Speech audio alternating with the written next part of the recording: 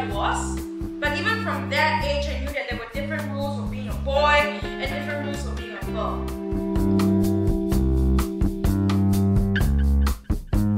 When I was 13 years old, there's a word I hear for the first time. Butch. IVF, mom.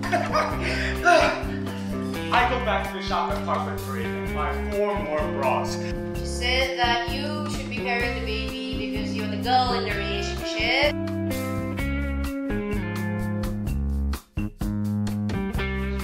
Lucky bastard! Who she was it good? I hope she's not lesbian. What? Why not? And then someone explained that to be butch, it also meant that you had to like girls. He called me a bonda. You know, uh, yeah, faggot.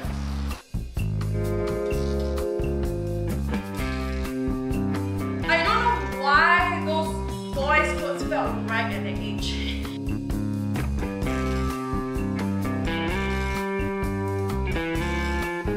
He told me to man up and that he was disappointed that I was his son.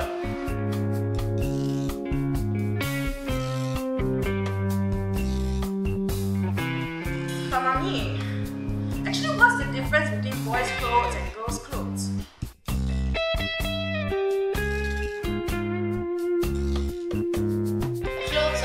reflection of who I am. Okay, so who's more important now?